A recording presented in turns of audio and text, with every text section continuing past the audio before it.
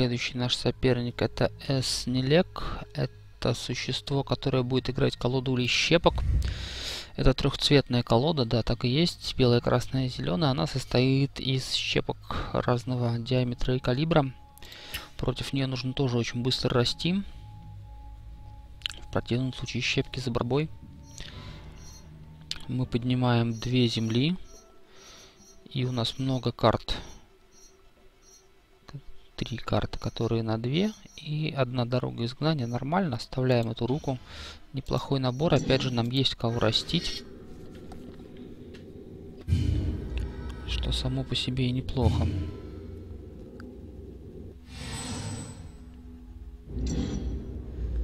Начинает с белых карт, нету белых щепок, возможно проблемы с землей, и у нас выходит Страж Души, это просто отличная карта. За каждую сыгранную на стол, за каждое сыгранное на стол существо Страж Души приносит нам одну жизнь. Это очень хорошо, мы сразу ее сыгрываем.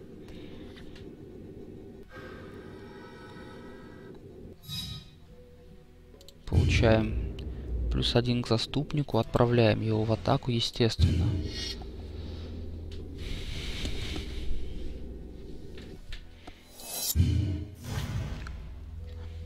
Ну и побеждаем пока. Пока впереди, это очень хорошо. Главное, чтобы у нас не было очень больших проблем с землей. Хотелось бы ее получить. У соперника пока проблемы с землей есть, и у нас земля выходит. Это прекрасно.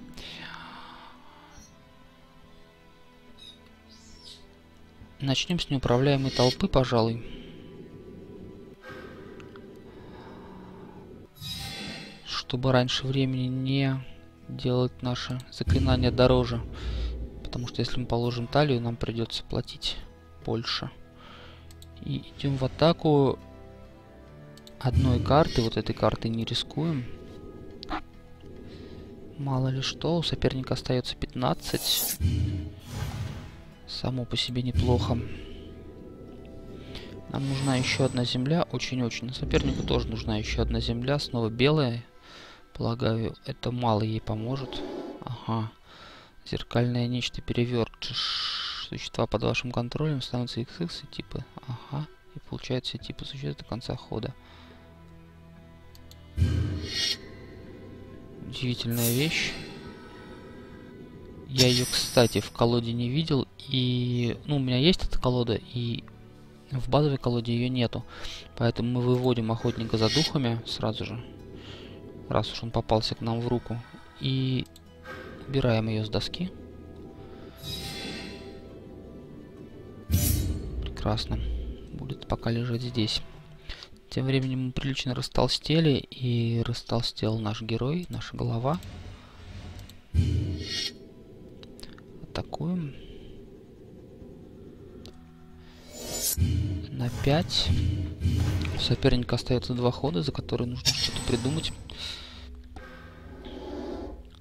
Пока придумывается дорога изгнания и понятно, что будет изгнано за землю. Это очень хорошо. Мы подтверждаем землю.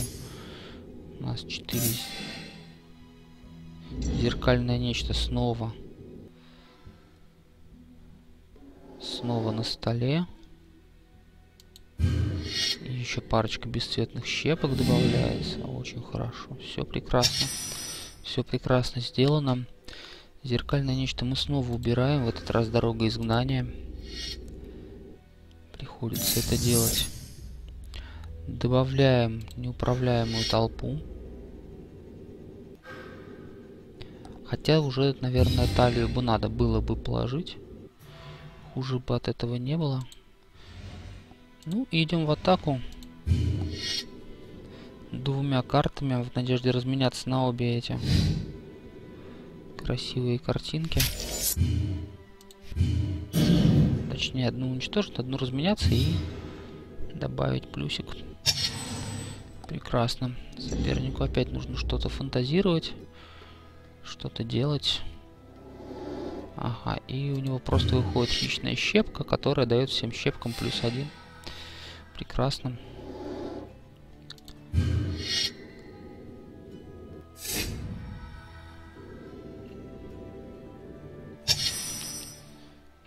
еще одну землю.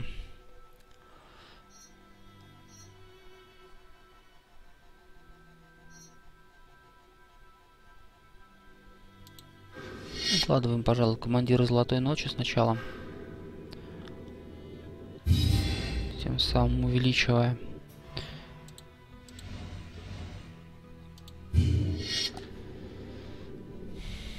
нашего заступника.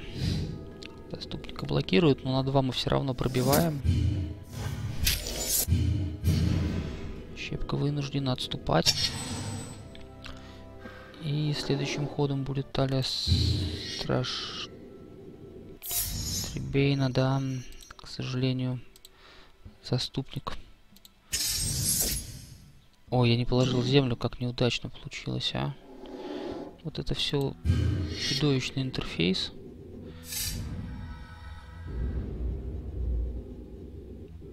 Атаки нет у соперника, это очень хорошо. То, что я землю не положил, это крайне плохо. Мы выкладываем наставника коротких.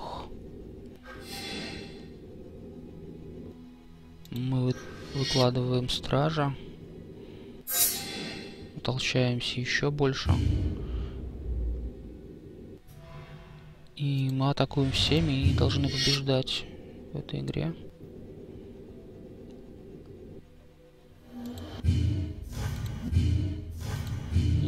Рискованная атака, но тем не менее победа.